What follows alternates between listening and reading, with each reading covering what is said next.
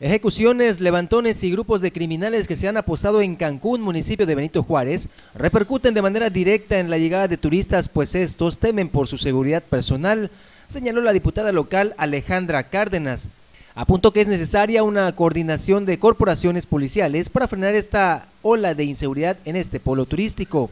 Y esa persona que viene se va una impresión de que la, la, la, seguridad no está garantizada para nuestro turismo, ni para nuestros propios habitantes, pues no podemos esperar nosotros una, una amplia participación de los de extranjeros para venir a ver tanto mercado nacional como internacional que vinieran a visitar nuestro ente turístico. Dijo que no ha existido esa coordinación y se ha dejado solo al municipio de Benito Juárez en el combate a estos flagelos que aunque son efectos de la lucha contra el narcotráfico, se han creado secuelas en materia turística.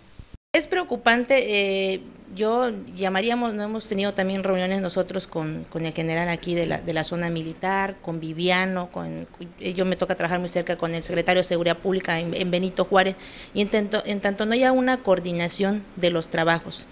pero esto es como una escalera, tienes que empezar de arriba hacia abajo, si no es así no puede emanar lo, lo poco o lo mucho que hagan los ayuntamientos, se va a quedar hasta ahí. Apuntó que es necesario que se aporte mayor recurso económico y equipamiento para el combate de este mal que señaló, también ya la zona sur de Quintana Roo está teniendo estos mismos problemas. Con imágenes de Marcial Martínez para Notivisión, Juan Pablo Hernández.